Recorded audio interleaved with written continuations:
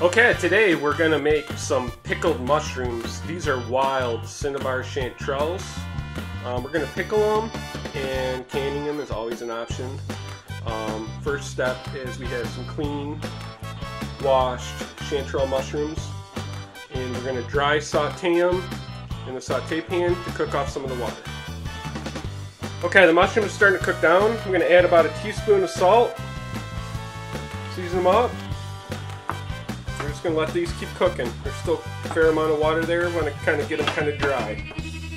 Okay, now you can see our mushrooms are cooking down dry. There's kind of some residue on the pan from the salt. I'm gonna add two cups of cider vinegar, or white vinegar works as well. I'm gonna add a half a cup of sugar, teaspoon of black peppercorns, a couple bay leaves, tablespoon of salt, a couple cloves of garlic, all right, there you have our mushrooms pickling. We're gonna let this uh, boil, simmer for five minutes, and then we start placing it in the containers. Okay, a ladle, slot spoon, out some of my mushrooms, and I'm filling in the small canning containers. And then we're gonna top it up with some of our brine. Okay, we're gonna top up our containers with our brine. Gonna leave a little room at the top so we can can it. Um, canning is not necessary process, however.